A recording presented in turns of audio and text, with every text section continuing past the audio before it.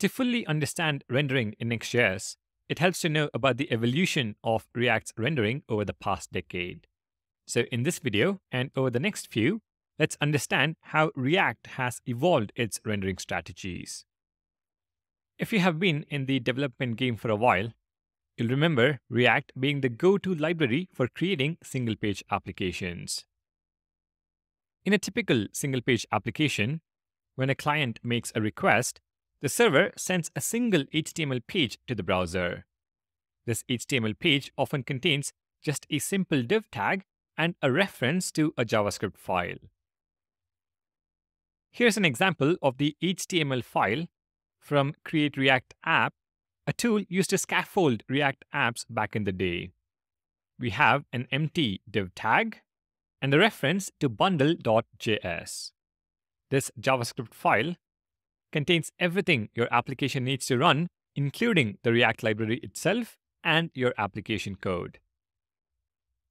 It is downloaded when the HTML file is parsed. The downloaded JavaScript code then generates the HTML on your computer and inserts it into the DOM under the root div element, and you see the user interface in the browser. This process is evident when you see the HTML appear in the DOM inspector, but not in the view source option, which shows the HTML file sent by the server to the browser. This method of rendering, where the component code is transformed into a user interface directly within the browser, is known as client-side rendering. Client-side rendering became the standard for single-page applications with widespread adoption. However, it wasn't long before developers began noticing some inherent drawbacks to this approach. First, generating HTML that mainly contains a single div tag is not optimal for SEO as it provides little content for search engines to index. Large bundle size and a waterfall of network requests for API responses from deeply nested components may result in meaningful content not being rendered fast enough for a crawler to index it. Second, having the browser handle all the work, such as fetching data, computing the UI, and making the HTML interactive, can slow things down.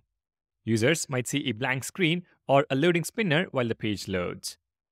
This issue tends to worsen over time as each new feature added to the application increases the size of the JavaScript bundle, prolonging the wait time for users to see the UI. This delay is particularly noticeable for users with slow internet connections.